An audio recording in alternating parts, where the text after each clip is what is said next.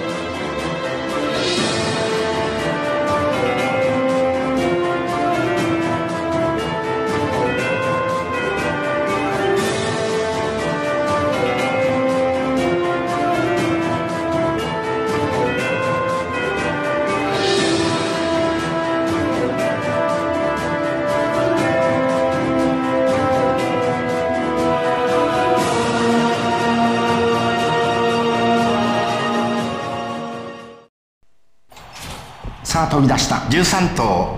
まずまずのスタートといったところであります。果たして何が行くのでありましょうか。ハナを切ったのはイングランディーレその内からは3番。パーソナルラッシュ。そして外からは4番。タイキアディライト。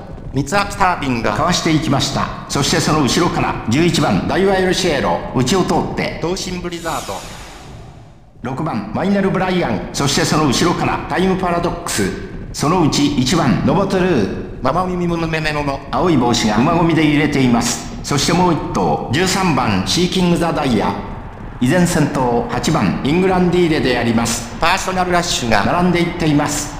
さあ川崎競馬場のスタンドから大歓声がありますママミミムメメモモはまだ後方。ようやく追い込み体勢タイキアディライト先頭内から懸命に。パーソナルラッシュ。外から1頭イングランディーレ10番。タイムパラドックス。8番。イングランディーレこれは何ということか。タイキアディライトが。1着。そしてどうやら。タイムパラドックスが。2着